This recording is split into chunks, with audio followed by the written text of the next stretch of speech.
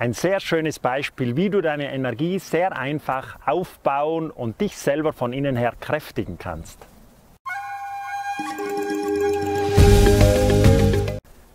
Ein Kunde fragt mich vor kurzem, Johannes, wir haben jetzt die klare Strategie oder die klare Struktur aufgebaut, um in mein neues Business zu starten.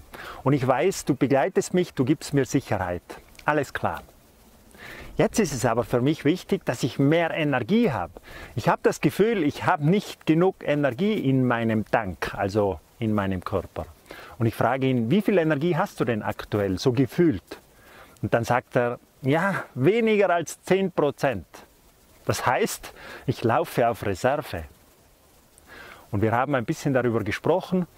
Und so ganz nebenbei frage ich ihn, wie sieht denn deine Ernährung aus?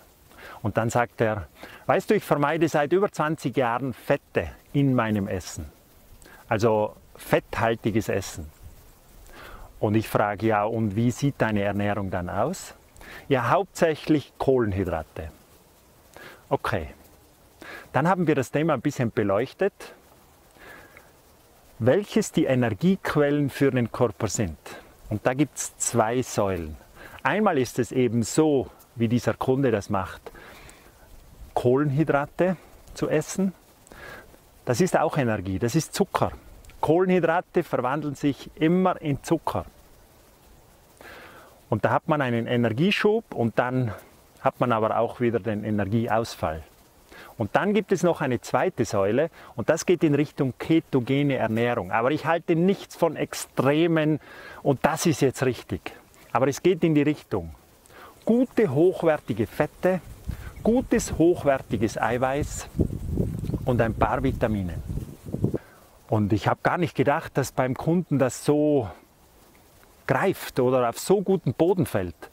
Und dann sagt er mir, weißt du Johannes, und ich habe das jetzt schon einige Tage, ich praktiziere das jetzt.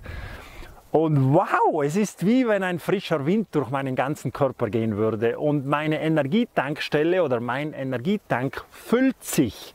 Und nicht langsam. Wow, wir können jetzt loslegen. Ich bin bereit. Ich bin am Start. Und die Hauptbestandteile sind wichtig. Denn so zwischendurch ganz nebenbei mal ein Stück Schokolade oder mal äh, ein paar Nudeln schadet überhaupt gar nicht. Also es geht immer um das Ausgewogene.